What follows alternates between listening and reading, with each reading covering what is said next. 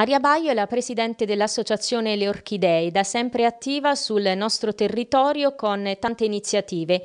È quest'oggi qui con noi per presentare un nuovo progetto intitolato Purple con scadenza il prossimo 31 ottobre. Avete partecipato ad un progetto della Regione Marche, avete vinto questo bando, ma si, di cosa si tratta nello specifico? Sì, noi delle Orchidee insieme all'Università di Camerino e alla COS Marche abbiamo aderito a questo bando e in teoria si tratta di borse studio e borse lavoro dedicate alle donne che hanno avuto un carcinoma al seno o che hanno un carcinoma al seno.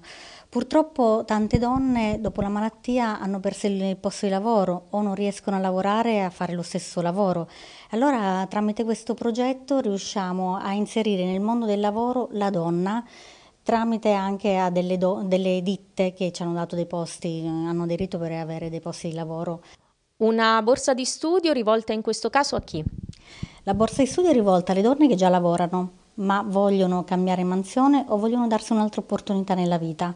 Quindi avranno una formazione di tre mesi, potranno dopo decidere se effettivamente continuare il loro lavoro o cercare altre opportunità.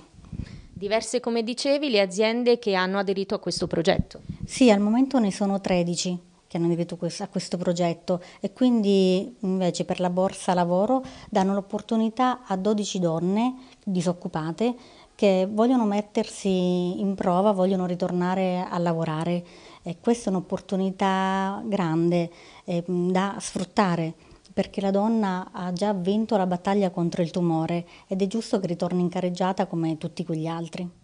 Chi volesse partecipare cosa deve fare? Deve inviare il proprio curriculum vitae alla nostra mail leorchideets.gmail.com Dopo le verrà eh, rimandata un link dove dovrà, ci saranno tutte le istruzioni da seguire. La domanda deve essere presentata entro il 31 ottobre.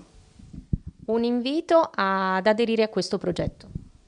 Abbiamo già vinto la battaglia contro il tumore, non è giusto rimanere indietro, diamoci un'altra opportunità, è importante per ogni donna.